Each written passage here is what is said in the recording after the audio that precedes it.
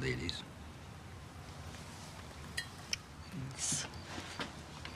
Cheers, butterfly. The woods are lovely, dark, and deep, and I have promises to keep and miles to go before I sleep.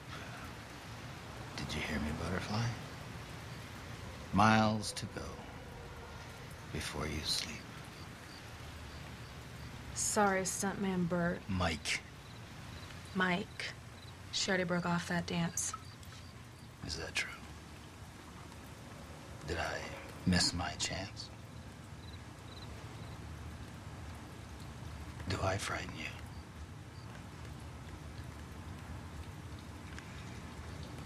Is it my scar? It's your car. Yeah, I know. Sorry. It's my mom's car. Have you been following us? No, but that's what I love about Austin. It's just so damn small. You've seen us go before? I saw him outside of Guero's. And I saw you outside Guero's, too.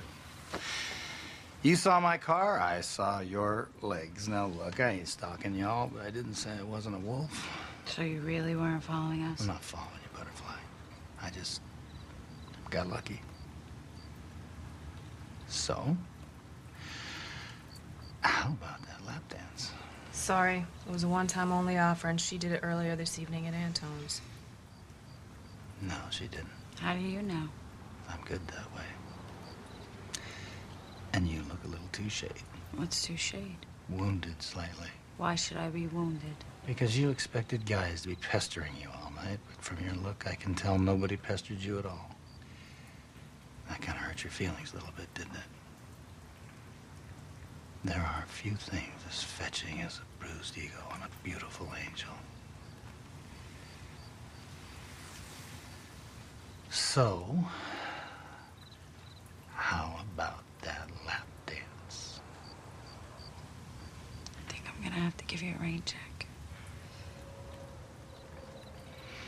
Well, since you'll be leaving in the next couple of days, that rain check will be worthless. But that's okay. I understand if I make you uncomfortable. You're still a nice girl. And I still like you. But I must warn you of something. You know how people say, You're okay in my book, or in my book, that's no good.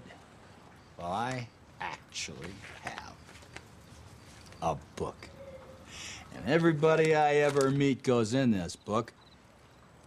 And now I've met you, and you're going in the book. Except, I'm afraid I must file you under chicken shit. And what if I did it? Well, definitely couldn't file you under chicken shit then, now could I? What's your name again?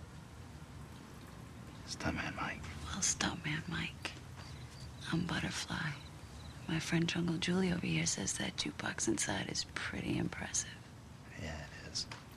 Yeah. Why don't you go get ready for your lap dance?